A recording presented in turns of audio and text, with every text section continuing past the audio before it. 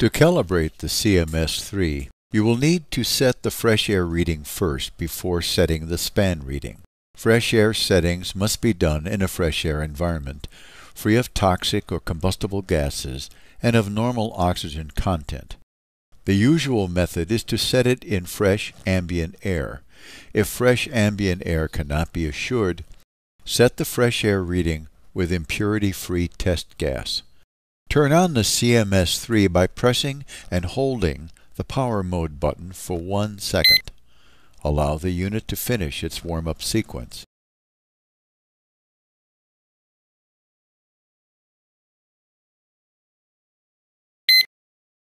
Press and hold the air button.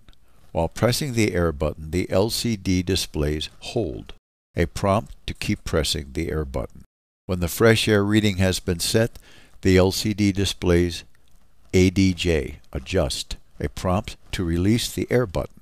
It will set the reading to 0 parts per million.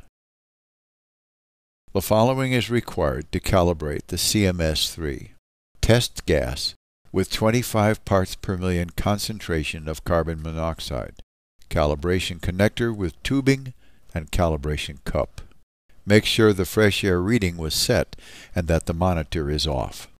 Make sure the calibration connector valve is closed and then attach the connector to the test gas cylinder. Attach the calibration cup to the sensor cap. The cup opens up like a clothespin to fit over the sensor cap and locks onto the cap. Press and hold the air button, then press and hold the power mode button.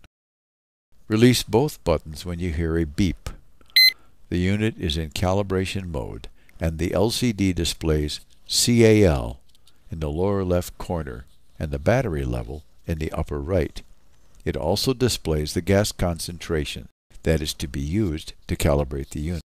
If necessary, use the air button to adjust the calibration value, the value shown on the display, to match the gas concentration in the calibration cylinder. Press the power mode button to accept the calibration value and proceed to the calibration screen. The current gas reading is displayed and the CAL display blinks. Open the connector by sliding the regulator valve to the open position. Let the gas flow for one minute and then press the power mode button.